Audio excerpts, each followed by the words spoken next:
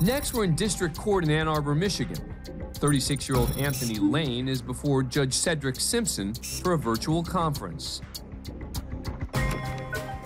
Six months earlier, Lane was charged with one count of possessing methamphetamine or ecstasy and one count of possessing a narcotic, cocaine, or heroin. Today, Lane is requesting to waive his right to a probable cause hearing and have his case sent straight to circuit court. Mr. Lane, please state your name for the court. Anthony Lane. Good morning, sir. Is All there right. How you doing? be a, a waiver for uh, continued plea negotiations and resolution in circuit? You understand you'll not have that hearing and you'll proceed to circuit court for further resolution. Yes, sir. Everything seems to be going as planned until the judge asked the prosecutor if he also agrees to waive the probable cause hearing. People also waive their right. Your Honor, I'll agree to waive, but I do want to make a statement on the record. Uh, It appeared that earlier in this time block that uh, Mr. Lane was rolling a blunt and uh, might have been smoking.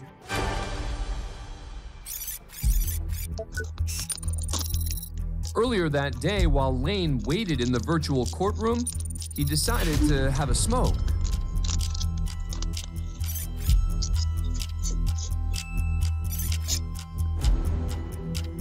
Another defendant waiting for the judge did a double take when he noticed what Lane was up to. While recreational marijuana use is legal in Michigan, Lane is out on bond and strictly prohibited from taking any drugs or controlled substances. Lane looked cautiously out the vehicle's window, but paid no attention to the phone in front of him that was broadcasting what he was doing, not only on the internet, but directly to the court. He continued smoking during the session and flaunted the blunt up close while Judge Simpson was handling other cases.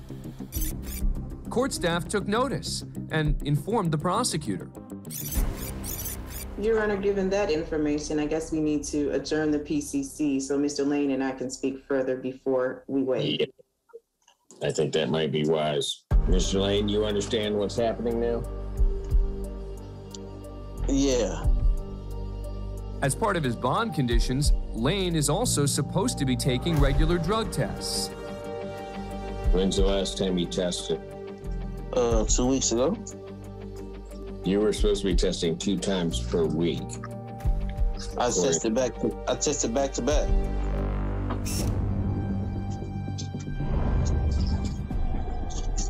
Okay, but have you tested this week? No, sir.